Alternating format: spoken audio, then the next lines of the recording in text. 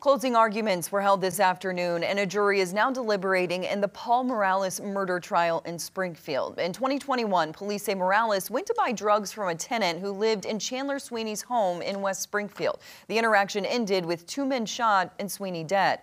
During the start of that trial on Tuesday, several people testified, including two men who already pled guilty in the case, as well as Sweaney's mother. Now, in the second day of the trial, the defense presented its case, and Morales is now awaiting the jury's verdict. KOLR 10 Sydney Moran is live outside the Greene County Courthouse this evening. The jury started deliberating at 4:15. Sweaney's friends and family say they hope this will finally end in justice for Chandler.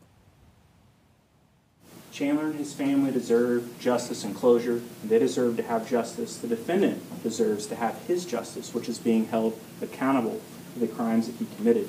Should you consider the witnesses, what they can observe and remember, and their ability to recollect, does that draw, does that rise to the level of beyond a reasonable doubt?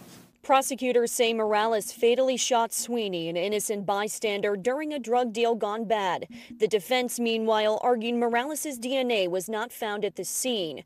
For Sweaney's family and friends, this week is the culmination of a long and difficult process. As sad as it is, Chandler's okay where he is. Debbie Jolly first met Sweaney when he was 11. She worked with him through a teen program and was part of his life, going to his graduation and remembering how much he loved working at Jim's Steakhouse. He was always there to help unlo- help do whatever needed to be done. Um, so he just he was a special kid. After his death, she continued to be a part of his family, including attending his trial. She's been able to stay positive by keeping a picture of Chandler by her side as his loved ones await answers.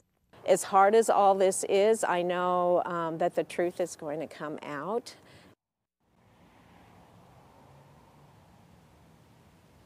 Just before 5, the jury asked for more evidence, specifically text and Facebook messages and diagrams to continue deliberating. They have not asked for anything else as of this hour. Reporting in Springfield, Sydney Moran, KOLR 10 News.